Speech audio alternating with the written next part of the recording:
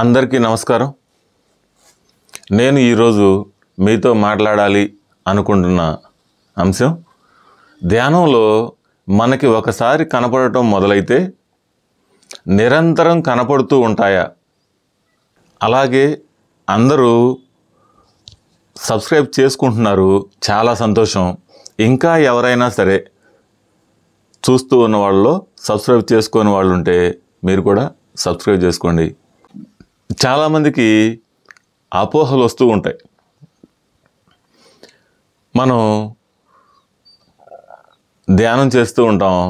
అంటే రెండు కాళ్ళు రెండు క్రాస్ చేసుకొని చేతులు వేళ్ళలో వేలు పెట్టేసుకొని కళ్ళు రెండు మూసుకొని మన శ్వాసని మనం గమనిస్తూ పూర్తిగా ఎప్పుడైతే ఆ శ్వాసతో అనుసంధానం అవుతామో ఆ శ్వాస పూర్తిగా నిదానం అయిపోయి ఆ ధ్యాన స్థితికి తీసుకెళ్తుంది.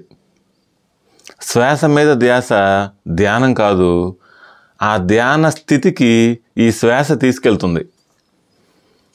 ఎప్పుడైతే తీసుకెళ్ళిందో ఆ దివ్య చక్షువు అనేది ఉత్తేజితం అవుతుంది.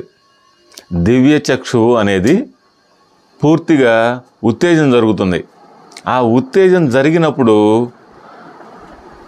మనకి కనపడటం మొదలవుతుంది. లోపల అనుభవాలు రావటం మొదలవుతుంది.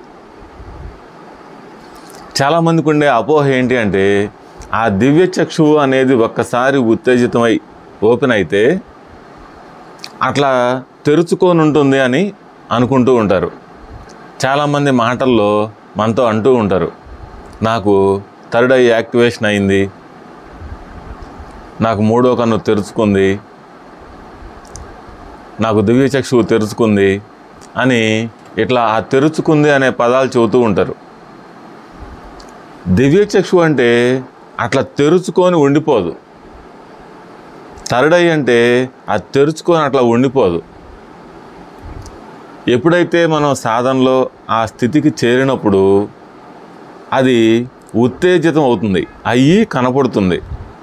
తెలుస్తూ ఉంటుంది ఆ కాసేపు.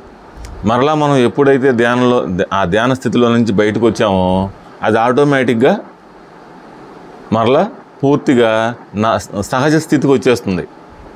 ఈ కణాలే ఇక్కడ కన్ను కూడా ఉండదు. ఈ కణాలే రూపాంతరీకరణ చెందుతాయి. మళ్ళీ ఆ కణాలు నార్మల్ స్థితికి వచ్చేస్తాయి సహజ స్థితికి వచ్చేస్తాయి. మరలా మనం ఎప్పుడైతే ధ్యానంలో ఆ స్థితికి చేరామో మరలా అప్పుడే ఉత్తేజితం అయ్యి మరలా అవుతూ ఉంటుంది. కాకపోతే తొలి దశల్లో అట్లా ఉత్తేజం అవటానికి చాలా ఎక్కువ కాలం పడుతుంది. ఇంకా ఒకసారి అయిన దగ్గర నుంచి తొందర తొందరగా ఉత్తేజితమై కనపడటానికి అవకాశం ఉంటుంది. అంతేగాని ఒకసారి అట్లా ఉత్తేజం అయ్యి కనపడితే ఆ దివ్యచక్షు కానీ దాన్ని ఉత్తేజితమై కనపడితే నిరంతరం కనపడుతూ ఉండాలి అని రూల్ లేదు. రోజు కనపడవు. రోజు వినపడవు. మనకు అనిపిస్తూ ఉంటుంది మొన్న కనపడింది కదా ఇవాళ కనపడలేదు ఏంటి నాకు ఆ దివ్యచక్షు యాక్టివేషన్ అయ్యిందా అవ్వలేదా అని. యాక్టివేషన్ అయినట్టే కానీ అది అయ్యిందని చెప్పని ప్రతిరోజు అట్లానే అట్లా తెరుచుకోనిగా ఉండదు. అదేం ఒక సూట్ కేసో లేకపోతే ఒక ఇదో కాదు అట్లా తెరిచి ఉండటానికి. ఇక్కడున్న కణాలే ఆ రూపాంతరం చెందుతాయి. చెంది దర్శించ దర్శించే స్థితిలాగా మారుతాయి అన్నమాట. మనకి ఈ నాలెడ్జ్ తెలిసి ఉండాలి. తెలిసి ఉండకపోతే అపోహలకు గురవుతూ ఉంటాం. ఏదో ఒకసారి వచ్చింది కలగన్నానా ఊహించానా భ్రమపడ్డానా? మరి అది నిజమైతే నాకు రోజు కనపడాలి కదా? అని. ఎప్పుడైతే ఈ ఈ నాలెడ్జ్ అనేది అంటే ఈ జ్ఞానం అనేది మనకు అర్థమవుతుందో దివ్యచక్షు అనేది ఆ టైంలో మాత్రమే యాక్టివేషన్ అవుతుంది కానీ పొద్దుగూకులు అట్లా తెరుచుకొని ఉండదు అనేది మనకి క్లియర్ కట్గా తెలుస్తుంది. అప్పుడు ధ్యానం మీద మనకి అపోహలు ఉండవు. మన సాధనని మనం సరళంగా సాగించగలుగుతాం. లేకపోతే ఒక రకమైన అయోమయానికి గురై ఏంటో ఇదంతా అని చెప్పని మనం ధ్యానాన్ని ఏదో ఒక మాటలు అనుకుంటూ ఉంటాం ఆ ధ్యాన సాధనని.